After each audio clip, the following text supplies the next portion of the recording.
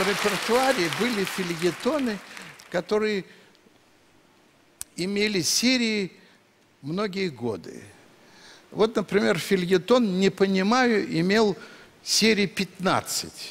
Сначала наш великий юморист Аркадий Хайт писал для меня эти филитоны, потом Михаил Задорнов, тоже великий юморист, и многие-многие другие авторы. Я перелистывал недавно книгу моего репертуара, выпустили два тома «На чем смеется Петросян», и перечитывал последний филитон «Не понимаю», подумал, надо будет его попробовать. Я его 10-12 лет назад читал. И он как-то промелькнул незаметно, и я пошел дальше. Я все время иду дальше. Мне все время хочется что-то зрителю представить новое, чем-то удивить. Сейчас этот фильетон с удовольствием вам прочитаю.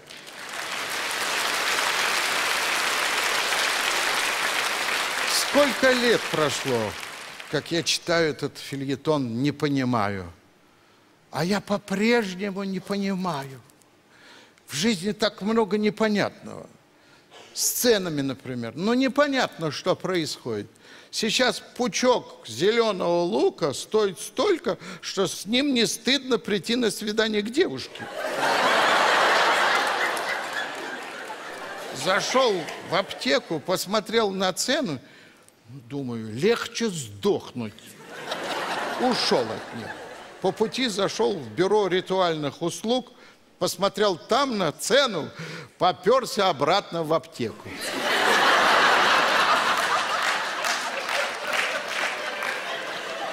Не понимаю современных детей. Нет, я понимаю родителей, которые сначала учат ребенка ходить, говорить, а когда научат, пытаются заставить его сидеть и заткнуться. Потому что мой недавно меня совершенно ошарашил. Пап, а вот ты знаешь, почему попка делится по вертикали, а не по горизонтали? Не знаешь, а я знаю.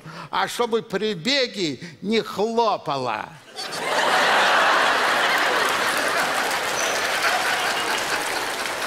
Дети изменились. Мы безропотно двойки получали. А сейчас первоклассник заявляет учительнице.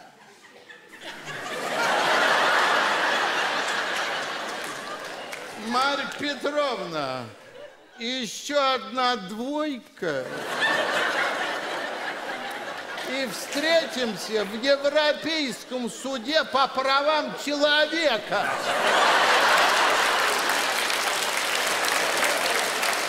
Или вот сколько существует это ЕГЭ. До сих пор никто не может понять, хорошо это или плохо. Учительница сказала ученикам, кто сдаст ЕГЭ на пятерки и четверки, попадет в рай. Кто на двойки, тройки, попадет в ад. Ученики спросили, Марья Петровна, а нельзя ли окончить школу живыми?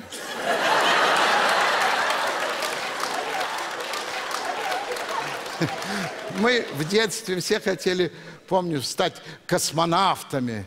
Сейчас спросил у мальчишки, кем ты хочешь быть? Уродом. Почему уродом? Ну, все же говорят, смотри, какая крутая тачка у того урода. Сейчас дети мыслят не по-детски. Это неправильно. У человека должно быть детство. Обязательно он должен пройти через это. Нельзя становиться сразу взрослым. Мой приятель читал на ночь «Мой додыр» своему сынишке. Одеяло убежало, улетела простыня, и подушка, как лягушка, ускакала от меня. Малец спросил, пап, скажи честно, ты курил? В тоже непонятно, как ориентироваться. Непонятно. Какая рыба крашеная, какая съедобная. Какой йогурт пищевой, какой технический. При этом полно кулинарных новинок. Кто-то пошутил, ко дню работников сельского хозяйства, будто генно-модифицированные продукты подготовили большой праздничный концерт.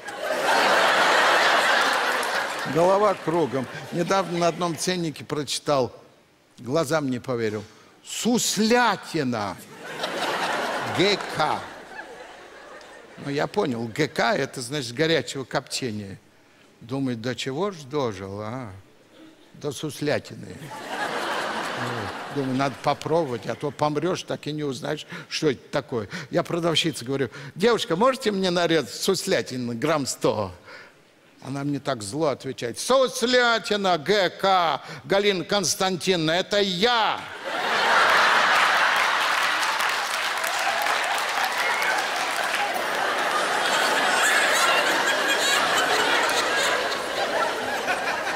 Я тогда не надо нарезать. Вот не понимаю, знаете кого? Наших алкоголиков. Почему одновременно пить шампанское, водку, коньяк, пиво, что хотите туда наливайте. Это не вредно. А вот воду, которую мы заливаем в чайник, нужно обязательно фильтровать, иначе можно испортить желудок. А я так скажу, водка на охоте, между прочим, спасла больше зверей, чем весь Гринпис вместе взятый. Вот он знает. Пьяный мужик пришел домой поздно ночью, но не поняв то, что он дома, открывает холодильник и спрашивает, «Шеф, на Гоголя 2 отвезешь?» Нет, ну и хрен с тобой. Бабах холодильника. И так всю ночь. Шеф, отвезешь на Гоголя 2? Нет. Ну и хрен с тобой. И как он бабахал. Ранним утром, протрезвев, увидев, что холодильник сломан, он взял его, побежал в мастерскую, пока жена еще не проснулась. Жена встала, увидела, что холодильника нет, и сказала, от настырный какой, все-таки уехал.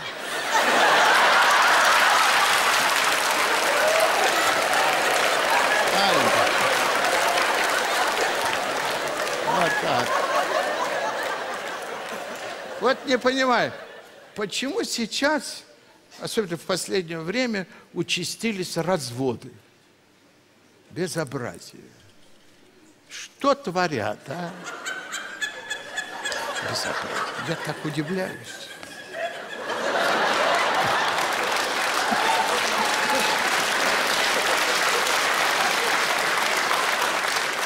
Извините, это автобиографическое.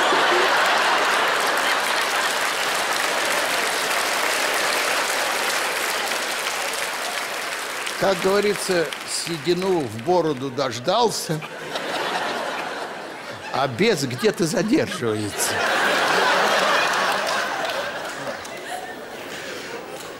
Ну вот, когда-то я говорил, я не понимаю. Вот женится, выходит замуж. Зайки, солнышки, рыбки, птички – а разводятся козлы, кобылы, овцы и олени.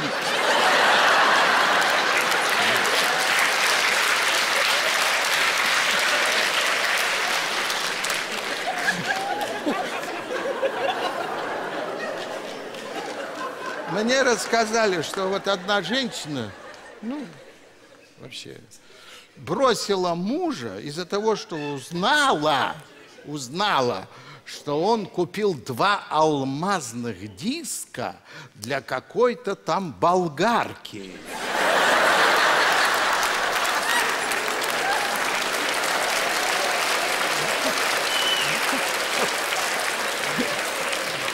Кстати, вот э, холостякам на заметку, которых бросила такая женщина. Пельмени через мясорубку пропущенные – становятся макаронами по-флотски.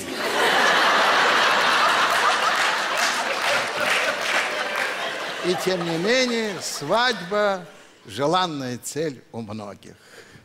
На одной свадьбе вместо «горько» папа кричал «Ну, слава Богу!» А мама кричала «Ну, наконец-то!» Вот еще что не понимаю. Почему женщины придумывают разные диеты, чтобы похудеть и заводя себя нагрузками такими? Одна дама сказала, главное в диете – это сон. Вовремя не уснула, обожралась. Кстати, сейчас новая диета появилась. Три дня только соки, пять дней только каши, семь дней только яблоки потом 9 дней, потом 40.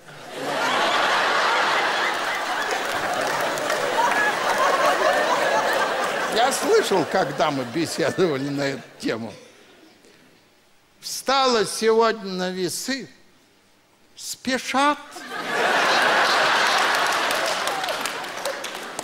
Ой, не говори, вчера пошла покупать платье, не влезла, расстроилась купила торт.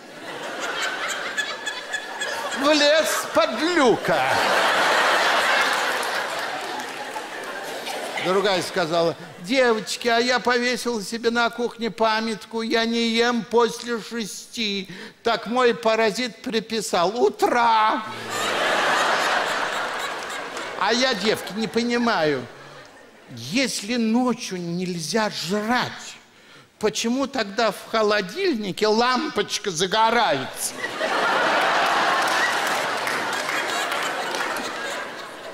Не понимаю, кстати, что у нас происходит в общественном питании.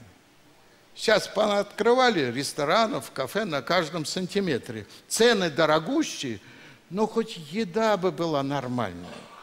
Я говорю официанту, у меня в супе что-то плавает. Это суп в нем всегда что-то плавает.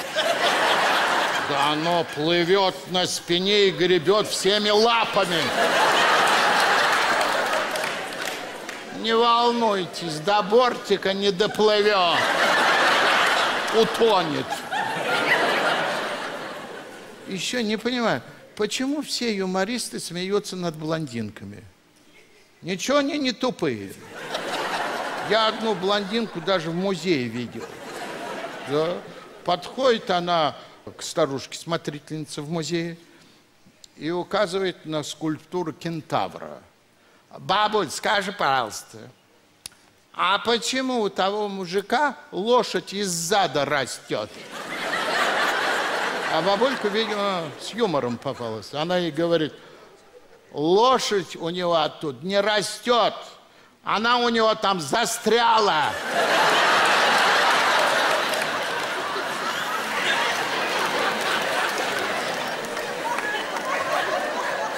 Такие девушки щебечут, щебечут. Девочки, какая диета лучше всего? Есть гречневую кашу без ничего. Голый, что ли? Люся, мы что, в джунглях, что ли? Света, убери укроп от очков. Номер, который вы вызываете, не отвечает. Что, совсем? Нет, блин, первые две цифры ответили, остальные молчат. Ой, едут две блондинки в машине и слушают навигатор. Через 300 метров поворот направо, через 100 потом поворот налево. Следующие несколько минут они едут молча. Одна говорит, ну и что она замолчала? Куда нам поворачивать? Другая говорит, ты что, дура что ли? Мы же не одни на дороге. Она сейчас кому-то другому рассказывает.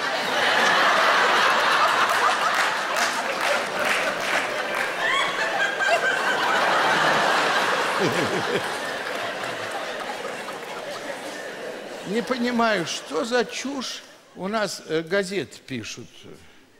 Такую чушню пишут. Фотография Никиты Джигурды вылечила мальчика от заикания. Психолог Джигурды постоянно посещает психолога. Стас Михайлов обозвал Валуева Николая тупым качком панихида состоится во вторник. Япония выкупила права на показ фильма «Секс в большом городе». Теперь он у них будет называться «Чпокио в Токио». Вот еще что не понимаю в последнее время. Это вот новый разговор. Э, что на Украине делается? Заварили кашу на свою голову, а к нам, главное, в претензии. Выбрали в начальство юмориста, имитирующего деятельность, и уже сами смеются над собой. Вот оттуда прилетела шутка. Муж приносит домой зайца. Жена Пожар зайца на сале. Нема в нас сала. Ну так пожар на масле. Нема в нас масла. Нет. Ну так пожар просто так, на газе. Нема в нас газа. Муж в сердцах выкидывает зайца в окно. Заяц бежит и кричит «Слава Украине! Героям слава!»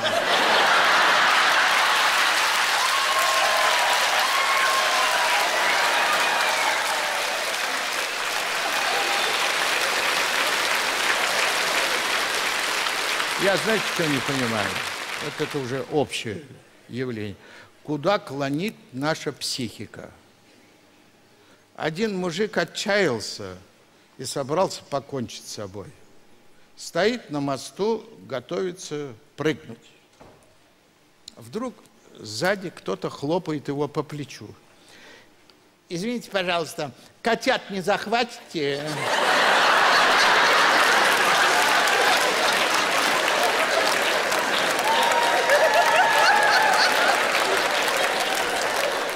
Вы уж простите меня, я одну фривольность скажу. Я одну вещь понял точно – вот ничего не понимаю, но одну вещь понял до конца. Главный орган у человека – это все-таки задница. Она во всем принимает участие. В лечении, в учении, в воспитании, принятии решений. Все через нее а в поиске приключений ей вообще равных нет.